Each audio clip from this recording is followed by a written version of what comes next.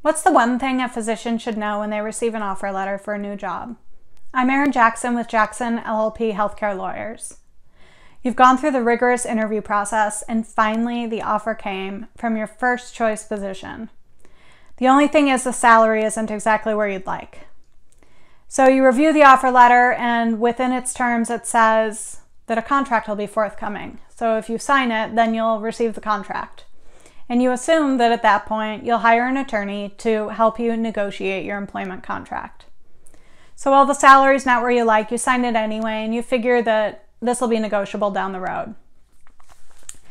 Unfortunately, when it does come time to negotiate your contract and we vigorously work to negotiate that salary that was disappointing when you first saw it, typically the practice or the hospital will balk and say, You've already agreed to this salary.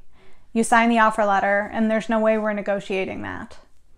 So, as a cautionary tale, uh, the best time to hire an attorney to help you negotiate the terms of your employment is when you receive the offer letter and before you return it.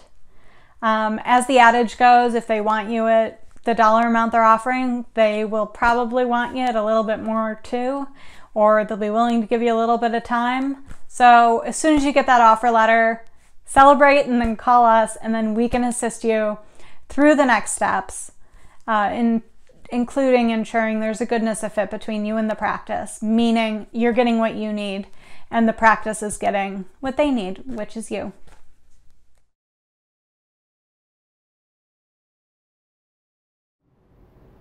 For tips about staying compliant, subscribe to our YouTube channel.